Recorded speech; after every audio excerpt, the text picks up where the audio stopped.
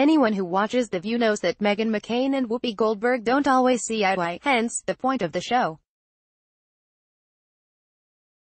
But what they really don't agree on is how they would handle a tricky divorce, particularly, a divorce like Jeff and MacKenzie Bezos's. On Thursday's episode, both made it clear that they would react totally differently if they were Jeff and MacKenzie. The Amazon founder announced via a statement on Wednesday that he and his wife were splitting up after 25 years of marriage.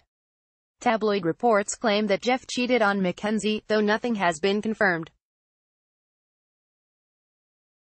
pic.twitter.com slash gb10bdboxo, Jeff Bezos, at Jeff Bezos, January 9, 2019 Whoopi said that the statement's tone was appropriate, especially given that they have children because of the kids. She believes they want to put their best possible face on, but Meghan admitted that while it might be the more responsible way to handle the tough situation, she couldn't do it.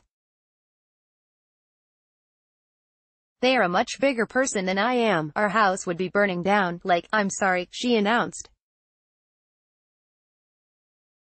Sunny Hostin enthusiastically agreed with Meghan and gave the conservative host a high five. If Ben, Meghan's husband, and I break up, crap's going down, Whoopi then quickly interjected to say again that it's totally different when you have children.